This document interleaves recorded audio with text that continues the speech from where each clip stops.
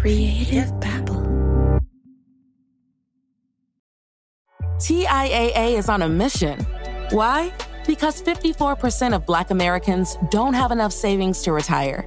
So, in collaboration with big name artists like Wyclef Jean, TIAA released Paper Right new music inspiring a new financial future. With 100% of streaming sales going to a nonprofit that teaches students how to invest. Stream Paper Right now and help close the gap.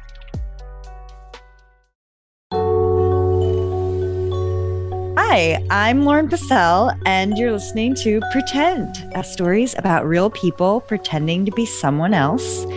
And today you're hearing the voice of someone else. I'm not Javier, but I'm here to interview him because he's made 100 episodes of Pretend, and that's a lot. So we're going to sit down together and go over the past 100 episodes together. Episode by ep- no i'm just kidding. We it's going to be a really long show. We're just going to talk about what he's learned some favorite moments and kind of just celebrate the last 100 episodes. So hi javier. Welcome to your show. Lauren thank you. You know when when i started realizing that i was going to creeping up to 100 episodes i a lot of shows have 100 episodes or more a lot of episodes. But for me 100 episodes is a lot. It's like that's a hundred little documentaries that I've been able to produce within four and a half years, which just it floored me. And so I thought, well, that's a big catalog of work to talk about. And who who can I invite on my show that could really dig into the library? And, and so I thought of somebody, Lauren, who is like a podcast encyclopedia. She I mean, you should check out her newsletter. I'll have a link in the show notes. it, it is fabulous. If you want to discover podcasts, Lauren has it. So, Thank you. Thank you for saying that because my newsletter takes me forever. And sometimes I wonder, why do I do this? But it's because I think we need more help discovering shows like Pretend, like that aren't for some reason aren't on the Apple Podcast app every time I open up the Apple Podcast app. It's too, too, many shows that aren't don't get enough attention. And but I've I've learned about so many good shows just off of your newsletter. And I know newsletter, it sounds like an old way of communication, but it is awesome. It is such a good newsletter. So well, what's funny is that I have a newsletter about podcasts. So it's like old-fashioned media talking about old fashioned media like radio. You know, who would have ever thought that my two favorite things would come together like that. But Lauren, when when I was in college, I, I studied journalism, and so you had to decide the, the the first year you had to decide what kind of journalism you wanted to do. You know, you you could be in radio, you could be in TV, you could be whatever, right? And I remember walking down the hallways and all these people were saying, Oh, yeah, I'm going to major in radio. And I go, Radio? Radio is dead. What are you talking about? and I, I literally laughed at them because I thought that was career suicide. And look at me now, I'm doing radio. Wow. Do you know but if podcasts didn't exist back then? Do yeah. you wish you had chosen radio or do you think that you have like kind of an edge because you're doing things in a totally different way than the old way no, no, I I come from a video background. I chose broadcast journalism. So on right. the air, I was with working news, local news, documentaries for local PBS station. And so when I came up with the idea for Pretend, what my intention was not to do a radio show or a podcast. It was to do documentaries. I wanted to go out and shoot documentaries. But if I would have gone that route, I mean, shooting a documentary requires cameras, lights, audio and and a lot of people and it just it's overly complicated. But then at that podcast it just it unshackles all those restraints right? So you could just do a, hundred documentaries like i have in a short amount of time. And I, I mean, if I go back and I tell Javier from back then, from four and a half years ago, that a hundred documentaries, you know, four and a half years later, I would never even realize that could be possible. That's amazing way to think of it. 100 documentaries. But when you started it, did you think you would even get to 100 or did you have a smaller goal? No. In fact, I remember having this conversation with my wife because, you know, I started this podcast and it was all with borrowed equipment. I was using my job's camera or microphone and editing and all that stuff. And I, I told my wife, I was like, you know, this might, I might do another season or something like that. She's like, do another season and then we'll talk about buying a microphone. and so, well, because, you know, it's a hobby. Oh, yeah. I mean, I could tell you uh, like a dozen other hobbies that I started and Yeah, never yeah. finished, you know, and I, I was with her. I was like, yeah, I don't want to buy like a really expensive microphone yeah. if this thing is just a phase. But after four and a half years, I don't think it's a phase anymore. I think, I think officially, yes. Once you hit the 100 mark, you should get some sort of award. I think. yeah. And it's not only 100 episodes of Pretend, I have like dozens other on criminal conduct, which is kind of That's- an accomplishment too. So it's nuts. I just learned about that myself. Yeah. I can't believe I am supposed to know about all of the shows and I did not know about criminal conduct. I can't believe it. It, it is. I'm uh, the master of under the radar podcasting. well, I mean, I must say, when I first discovered your show, I had, and we can talk about how I did in a second, because I'm not quite sure, but I had a moment of fear because the first thing I listened to was so good. I thought, how can this go on forever? Do you know what I Right. mean? I felt like Yeah. it was so special. And and I kind of also thought, could you have uh lots of ongoing episodes about pretending? You know, it seemed so specific. And Yeah. did you think you would are you going to run you have to make me feel better are you going and say no are you going to run out of people that pretend to ah. that people pretend you just hit a nerve because this is i ask myself this question all the time like after every season you know especially after season three with the word of faith fellowship i, I go how can i top this? I don't know.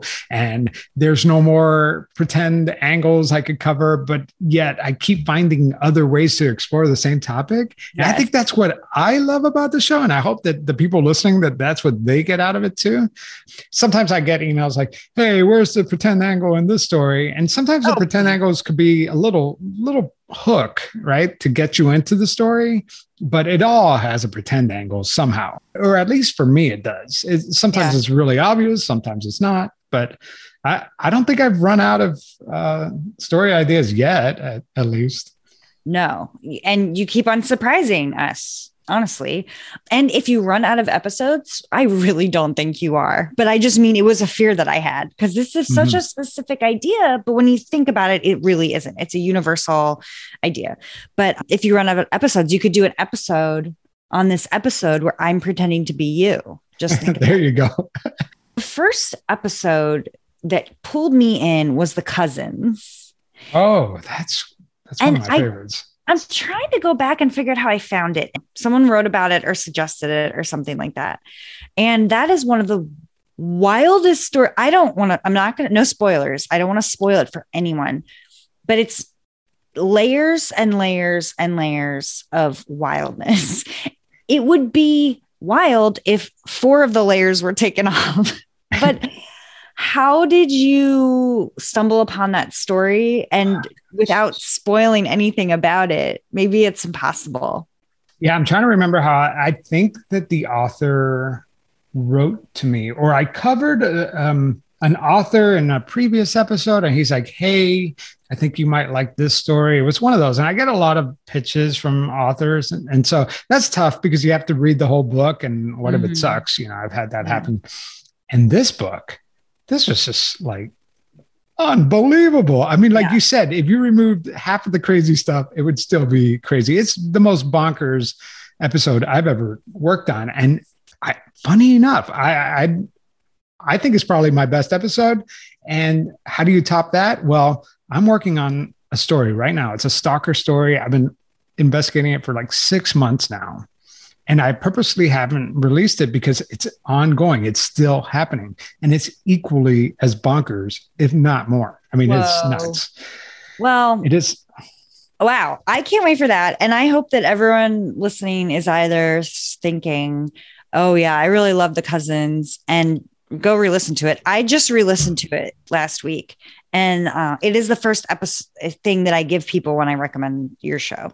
So if you're listening to this right now and you haven't listened to the cousins, you have to go listen now. You're in for such a treat. It, Yeah, go listen to it. Seriously. And then also buy the book that's based off of the episode. I, I talk to Susan all the time, by the way, almost on a daily basis. Uh, the lady, she is so smart. And I and I just love the way she tells a story and and for some reason sometimes you interview people and you and sometimes they get it and sometimes they don't get it. Susan really gets it. And so when i met susan and i'm not, spoiling anything for anybody who hasn't listened to it but i said i really want you to tell this story as it's happening not recalling what happened but take us there like present. This is happening right now. And and she took us the listeners and me on this journey with her as she was being tormented by the stalker. Yeah.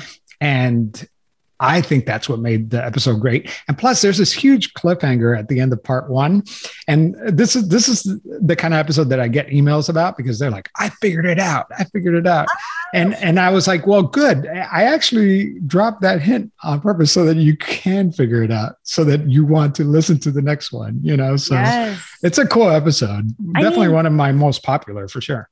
Well, I also just the storytelling, the story is wild for sure, but the storytelling, yes, that is actually what makes it fantastic. And if someone else had done that same crazy story, it would not have been like that. And I think you're right, like, because there's so many layers and giving her that advice to just take you through it i think is the only way you could have told it successfully mm-hmm. um like how do you you're very good at interviewing people obviously like how do you do good interviews? What is the secrets? And if there's people listening that want to you know have interviews on their own podcasts like what advice do you have for people that want to do good interviews? Like me right now. Well i mean it's it takes a lot of preparation.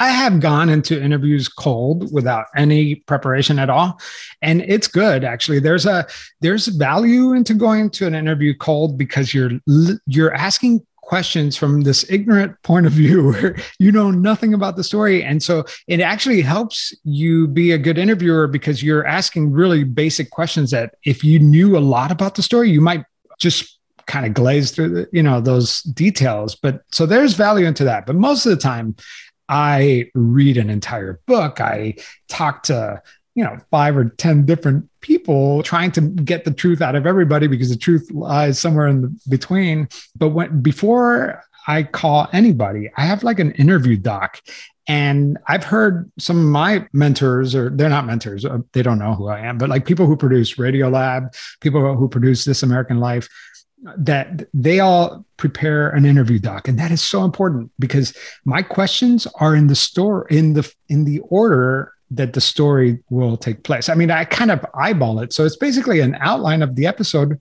before I ever recorded the interview.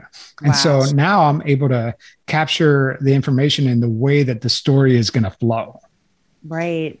Yeah. I think, I mean, it's interesting to hear that because you can tell when you're listening, but I did not know that you did that.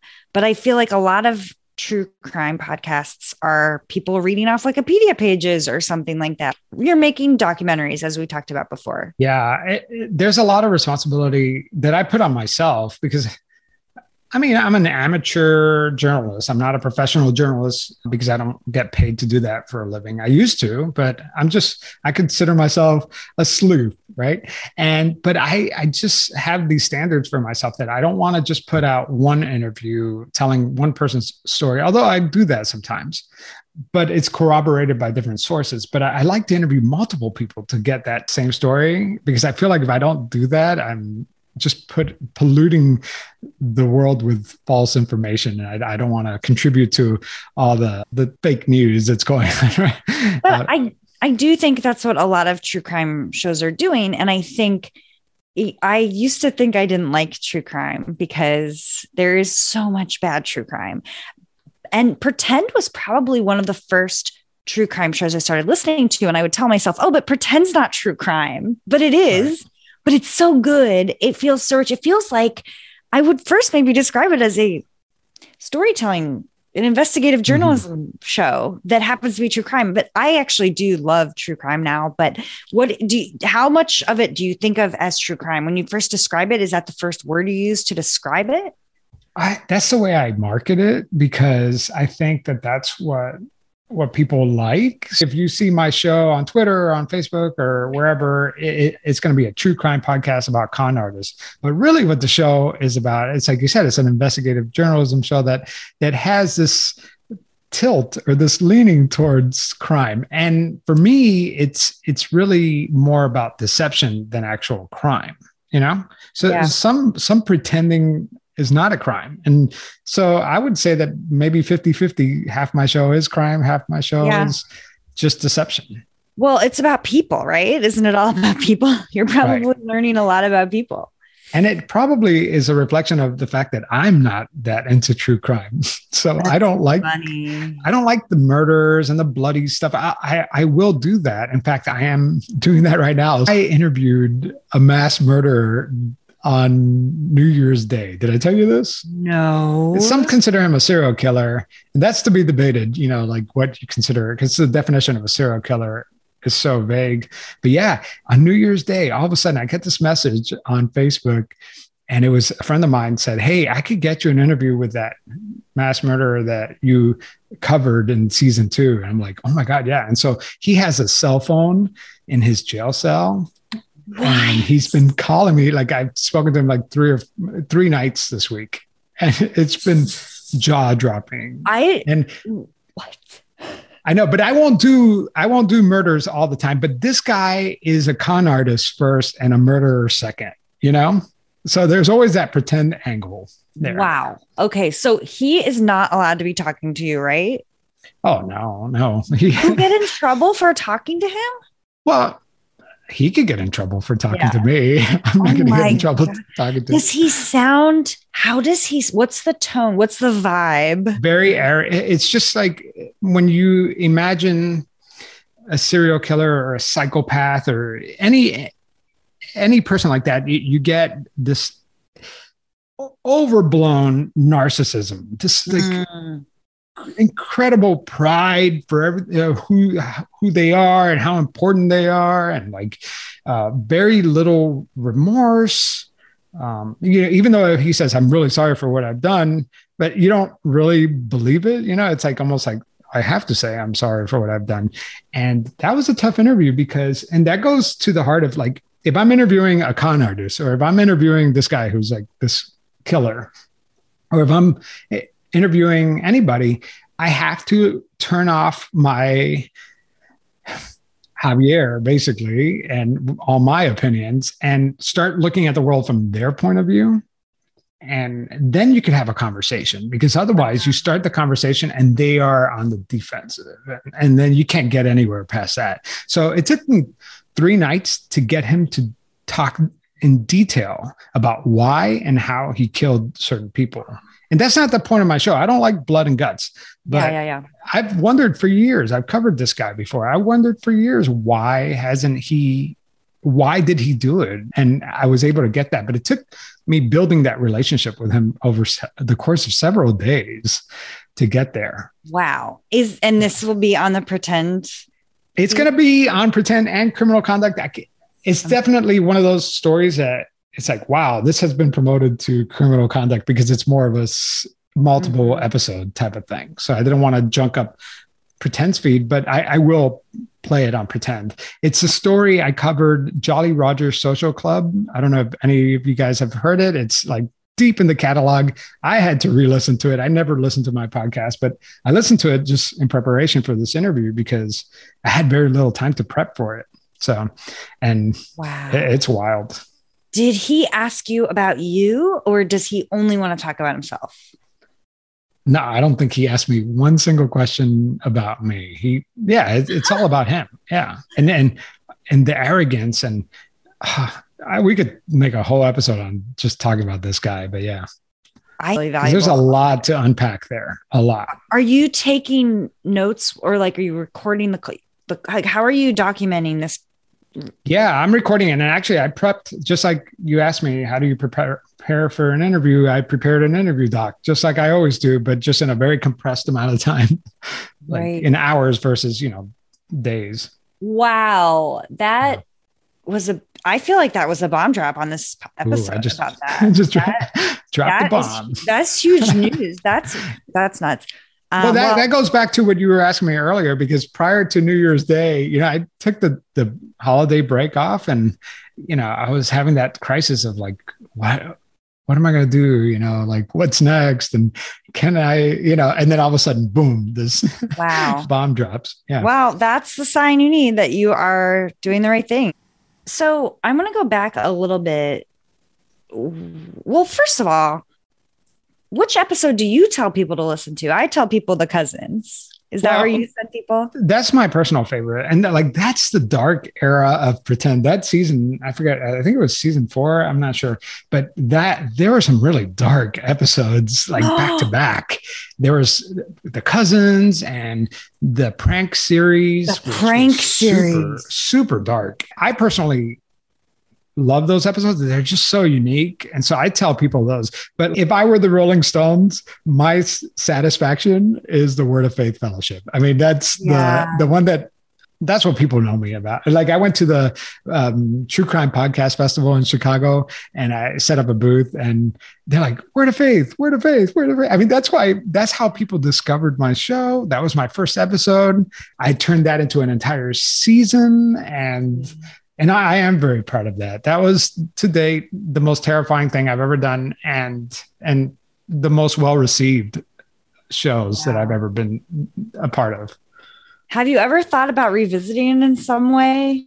Yeah, actually, so recently I did an episode, and and this is good because you know people listen to podcasts sporadically, especially my show. It's not one that you have to start from the beginning and listen to all of them. You know, you listen to whatever interests you, and so a lot of people may not know that, but I actually did a follow up, and that one was a year's worth of recordings because it all takes place during COVID and right in 2020 when things were going nuts and there was at one point there was suspicion that word of faith fellowship was a super spreader event you know like their services and stuff like that. And we were following up with some of the the former members. And it's a really actually a very interesting episode The one that i didn't know how it was going to turn out but it actually turned out pretty good. And you're doing, when you say we, oh did i say we i say that all the time it's No. it sounds like a lot of many, many people would have to do all this, but it's all you. I don't want to say it's all me because you know I have had Logan and Molly edit my show. They're really good friends of mine. They don't edit all the shows, but they've edited a lot of the shows. So they they do a lot of the work. But essentially, it really is just me. You know, doing the research, the reporting, the writing. You know, that's that's where the secret sauce happens. It's Yeah. in the in that process, and I'm so grateful for their help. But yeah, I, I, I dream to have like a team, to have a we. I would love to have a we, you know, where I could bounce Yeah. off ideas. That'd be great. I mean, I, I think every podcaster I have ever met wears at least 10 hats. And I'm not even, I mean, it just, it is, I think to be a podcaster, you have to be able to do a lot of different things more, more so than in other fields. Mhm. Do you think it's different than like broadcast journalism? Like how is, how is podcasting different than broadcast journalism? Hmm, that's a good question. I think with broadcast journalism, you have more safety nets and more more more eyeballs on Mhm. on the work. You know, so when we would produce a story for, and in a very condensed period of time, right? So we would leave the station at nine o'clock in the morning, and we would have a story to chase, and we would get the interviews and write the script and edit it and broadcast it by five o'clock. I mean, that was every day, rinse and repeat, right? And but even within that process, you have producers who are looking at the work. You have your news director who's reading it and approving it and giving you feedback, even within that short amount of time.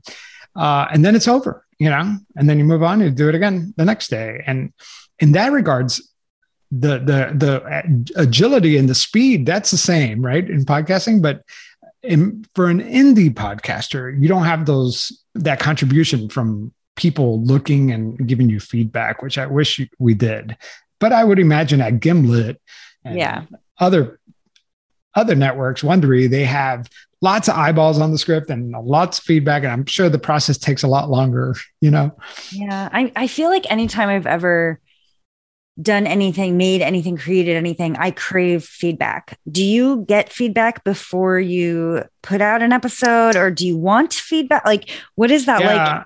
Is there a voice in your head? Uh, I do actually. You know, I, I have a Patreon channel, and obviously that's a way to support financially support the show, but actually for me, the real benefit, other than you know people helping me financially put this thing together, is that I get to release the episode be- before it goes on the the main feed, and lots of times I get feedback. Like last night, I released an episode and I got feedback. So um, sometimes people will be like, "Hey, you know, at a minute and fifty five seconds, you repeated the same thing." I'm like, "Oops." so like Patreon for me is it's it's very raw you know like i put i put the first draft up on patreon and i'm, I'm getting feedback. I'm last night I, I got feedback like hey that was really good that episode and and i really like this part and i'm like okay that's validation that i did it right you know so oh my god good and bad feedback. That i think that's a really good tip for podcasters. I've never i never would have thought of that that your patreon could be your guinea pigs. And they're the That people so who appreciate your show the most so i mean i'm not looking for technical feedback but if there is a mistake that's a great place to run it and just i mean you know if if i make a mistake with my biggest fans they're probably a little bit more forgiving and, and then i could give them the real episode. You know what i mean? Like they, they're more but you know when you put it out into the world and millions of people are listening to your mistakes that's kind of embarrassing. Never thought about that with your with your patreon audience. That's so Mhm. nice. Uh um do you have fans like what talk about your relationship with your fans. Do you feel like they know you very well? Do you know them very well? Like what is it like well I, I mean gosh i love my listeners. I, I really do. I bet every podcaster would say that and, and i'm no different. But i think especially my patreon supporters i i know them by name because they they not just inter they don't interact with me just once by becoming a patreon. Like once they're a patreon supporter they're messaging me telling me you know this and that or you know we're, we're just i don't know there's there's a sense of community which is really nice um so I love them, and I think they're very faithful. Even though I'm not a, this blockbuster podcast, you know, there are bigger podcasts out there. I'm not one of them. I just feel like the fact that I'm so grateful that you know I could. There's like an arena full of people that listen to me uh, every time I drop an episode, and that, that is so cool if you imagine it that way. And they're always there. They always listen to it, and Yeah. it's so. I don't know. It's very, it's very touching for sure to to know that that the time and work that I put into something that people actually appreciate it. You know, and that there's only so many hours in a day and there's so many more podcasts than there were when you launched right? So the fact that they're giving me an hour of their day is awesome. can you talk about the last so it's been like almost five years is it? Almost, yeah. In the summer, it's going to be five years. That's a hundred thousand years in podcast time. I know.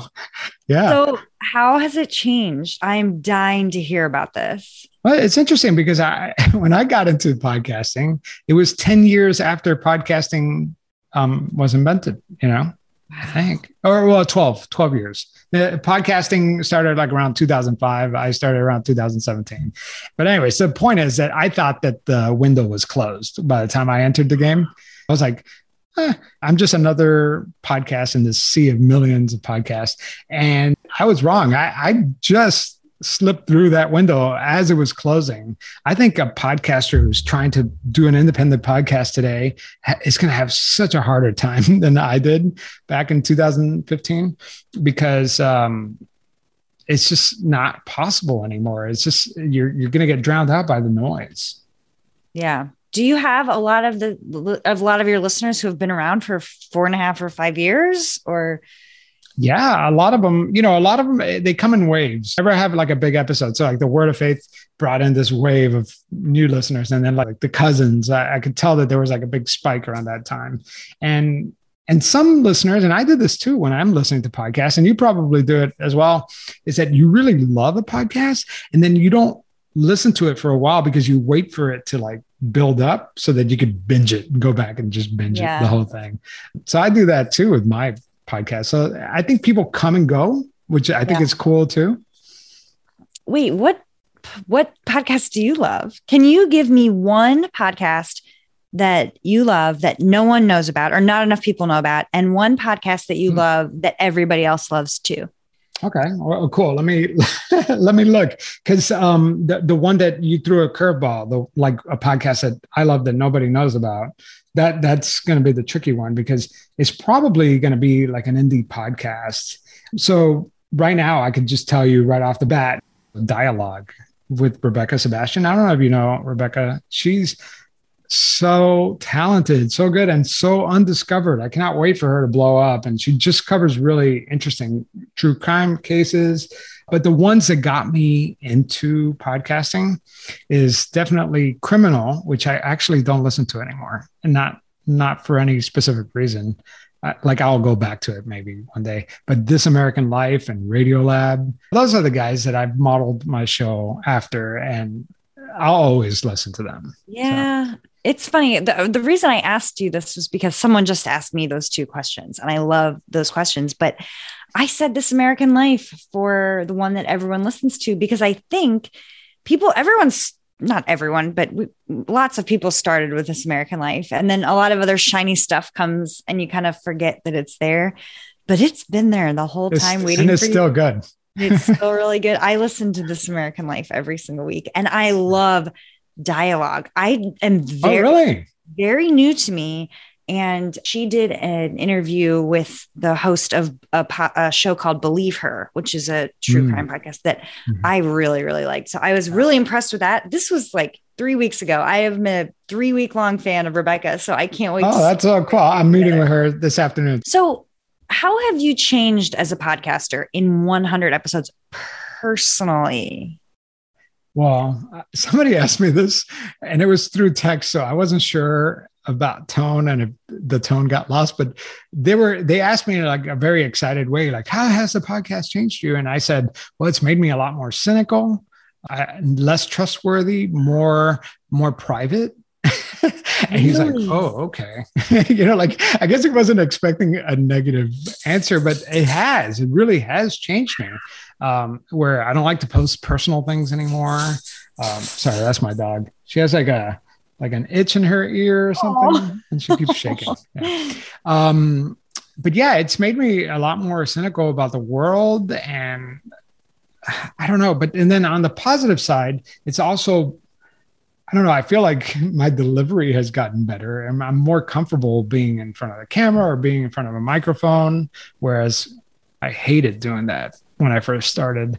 And also, I, I, just feel like it's made me more curious about the world, where I'm not a curious person by nature. I know that you're listening to this and you're thinking, yeah, you are because of the topics that you explore or whatever. But there could be an elephant marching down the road and I will drive past it and I wouldn't even notice it, you know. But now I become more observant, which is not a natural thing for me gosh, it's so it, it, shocked me to hear you say you're more cynical, but it it seems obvious too. Like I think I forget which episode it was, but I you had me convinced by the end of the episode that everyone in the world could access my social security number in one yeah. second flat. And I'm sure that that's true, but I can't yeah, I can't imagine not feeling that way after getting so you probably have very long conversations with these experts and people that have you doubting yourself. Oh, is, yeah. Is there like a certain theme of pretender that makes you the most uncomfortable? Well, I mean, to jump on the first part of what you were talking about, that the, the, whole identity theft thing, that's probably when I talk about being cynical and like less trustworthy and stuff. That's probably where it all stems from because I've just combed through the dark web for long enough and seen so many confidential documents that it just makes you sick to your stomach knowing that you're that vulnerable, right? Yeah. So I think that's where that stems from. Like I just like because there's certain themes in pretend, you know, like mm-hmm. which one is there one that makes you more oh, uncomfortable than others? No, that's a good question. All of it really makes me uncomfortable in terms of I don't like people who take advantage of other people. I think that's like the little vigilante part of me that um, that I have when when it comes to pretend, where it really bothers me to see somebody being taken advantage of. Yeah. And um, those are the ones that bother me like when they prey on the elderly or somebody who's disadvantaged or, or the people that do some sort of con where they don't think that they're affecting a, an individual they're going after a company or whatever but they're really actually affecting a lot of people. I, I think con artists are more dangerous than serial killers. So you, you're listening to all these true crime podcasts and you're in shock when you hear about like ted bundy or whatever but um, when you read about Bernie Madoff, he had way more victims. you know what I mean? Like way more victims, and and it affected a lot more lives, you know, than a serial killer. Uh, con artists, they they seem like we call it white collar crime, and it almost minimizes the impact of their destruction. You know, they're just yeah. as dangerous. Do you think that we spend too much time worrying and talking about serial killers and not enough time worrying and talking about con artists? I think that we we are fascinated by those that we don't understand, and I think serial killers stand out on a league of their own because they they are so unlike us, right? Humans, no matter who you are, no matter who you hate, they have a heart, they have a conscience, these guys don't. And so I think that we're just amazed by that. And we just want to understand how somebody could be so cold Right. Con artists have those qualities too, except it's not as brazen and it's not as graphic. But I do feel like, in a, in a way, that's why when I interview this killer or when I've ever covered a killer, it's I'm looking at it from the point of view that killers are just in the extreme end of con artists. Like con, there are. I'm about to do an episode right now on the different types of cons. I almost like a list of all the different types of cons there's not one type of con. There's a spectrum of cons, and serial killers are on the very far end of the extreme. This is a little bit of a tangent, but is there anything you're afraid of? Like, what's your? Do you have a, a phobia? Yes, and I think that I'm afraid of a lot of things. And I think that the difference between me and a lot of people is that usually when you're afraid of something, you stop. but Uh-oh. I have this like weird compulsion where I just keep going, you know? So even though I'm afraid, I keep going. If it's my safety, you know, like for criminal conduct, we went after the sheriff of St. Augustine and we told him that we were coming to town and we're like, hey, you know, we better drive the speed limit and we better not have a crepe in our windshield because we are like target. Oh, We're going after this guy. He knows it. And and that was terrifying. But then once we got to know him and talk to him, things quiet down. But that initial fear, that that that's usually a good indication that you're doing something right. Because that's tension, right? And as a storyteller, you need tension. And I, I make sure that all my episodes have some sort of tension where it makes you a little uncomfortable. Yeah. Because if you if if that tension weren't there, I don't think the episode would be as good. Oh my gosh. I thought you were going to say like spiders. And you're like oh, no oh. actually going and investigating well no uh, i mean uh, fear. No but that's a good that's a true fear. Well but uh, non-podcasting fear i um i'm afraid of heights all of a sudden where i used to not i've skydived twice you know when i was in my 20s and now i remember we went to camp with my daughters and they wanted me to jump off this diving board into and i I could not do it. I could not jump off the diving board. I, I developed this fear of heights. I don't know what's going on. So, is that the most danger? Because you've ever felt making pretend? Because I feel like you've put yourself in some a lot of the of word danger. of faith fellowship was definitely yeah. the scariest thing. I remember right before and I think I said this in the episode right before I went to go visit the cult leader because I had, you know, she invited me into the church and we were gonna have spend the day together. And I remember right before my friend dr- dropped me off that my stomach just melted, just went yeah. and I was just like, oh my God. I, it's a weird feeling to describe because I, have only felt it a couple times, you know, like in roller coasters or, you know, when, when you have that pit, feeling in the pit of your stomach um, yeah, that was the crazy stuff. And then for criminal conduct, John and I were coming up with ideas for season three, and we were going to go after the Mexican mafia, the same cartel that uh, Uh, El Chapo is from. And Please I was like, do that. I was like, you know what? No, we don't need to do that. Yeah. Whew. Oh my god, that would scare me. If, if would have made an awesome season, but that's true to kind of wrap things up, how do you feel about the future of being a podcaster in the year 2022 as an independent podcaster making some of the best audio there is up against these humongous companies that have gigantic budgets? How do you feel? How are your spirits right now? You know, I hope I have another five years in me, another 100 episodes in me, and it might not be pretend you know it, it, might not be criminal conduct. You know i have ideas of for other shows other storytelling shows that are just like really fulfilling and i would love to do it. If i could do all of it i would because all podcasters have like a million ideas for shows you know? Yeah. but i have this one kicking around in my head and i would love to keep pretend going but also i want to see how i develop as a storyteller. Not that i ran out of pretend ideas i haven't but I, there are other stories that i would like to tell that are that don't fit this deception category. And and yeah i mean i don't know when that's going to happen but maybe in the future there's another medium for me. I feel like you're hinting at something and i'm excited about it but that's the great thing about podcasting. You can do your you can do whatever you want. What's your dream for pretend? So my goal is what got me into this and the to begin with is to make documentaries, not just podcasts. And my dream would be to have like an HBO documentary. That would be awesome. But some of that is already coming true. You know, I've been talking with a lot of production companies about developing some of my episodes for streaming services, you know, and and that's in the works right now. So, and I it's it's so funny because, you know, this this show I would have never imagined that that it would have led to these opportunities, but it's so awesome. It, it, it gives me different ways and different formats to tell my stories. Oh my gosh. Well, you'll have to tell me about it because I'll need to write about it for podcast the newsletter. But oh, that's yeah, really awesome. exciting. And you deserve all the things. You make something beautiful that so many people enjoy. So thank you so much. And thank you for letting me be on your show. I well, but I feel like all we did was talk about me. So tell me, tell my listeners, I know we started talking about your newsletter, but please tell them like where to find it and, and what it's all about. I mean, go ahead. I have a podcast discovery newsletter called podcast the newsletter. You can find it at podcastnewsletter.substack.com, or you can just find me at Lauren Passell on Twitter, L A U R E N P A S S E L L. All my stuff is there. But this was Go a real this was a real treat because I listen to your voice all the time, and it was really magical to get to have a conversation with you. So thank that you. That is so weird. You got to see the wizard. You know. Yes. well, Lauren, I really do appreciate it. That's awesome. This was a blast. And awesome. I'm so excited. Will you do the 200th episode?